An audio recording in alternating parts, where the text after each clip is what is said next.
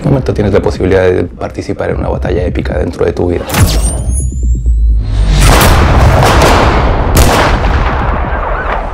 Yo creo que nunca nos hemos sentado a conversar sobre los hechos en cuestión.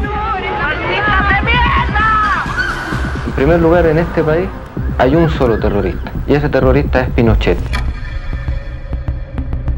Uno entraba al frente por dos caminos. De un momento a otro llega el negro a mi casa, eh, sube y venía pálido, pálido, pálido blanco y me dice, prendamos la tele, prendamos la tele.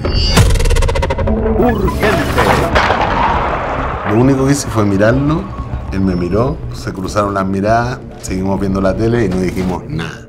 Mamá, ¿supiste lo que pasó hoy día? Sí, le dije. Yo fui mamá, me dijo. Yo no tuve la, eh, digamos, como la intuición de decir, ¿habrá estado mi hermano en esto?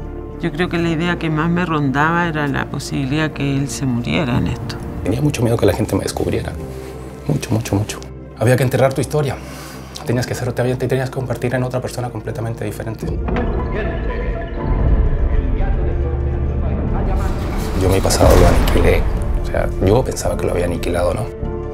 Y, y yo lo encuentro lament- hiper lamentable, pero más lamentable desde el punto de vista de la razón política. Si no cambió nada, no, no cambió nada.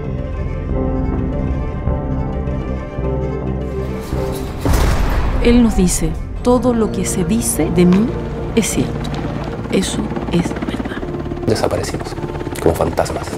Nunca supieron nada, al menos de mí, jamás. A eso me dediqué, a que no me atraparan nunca, nunca más.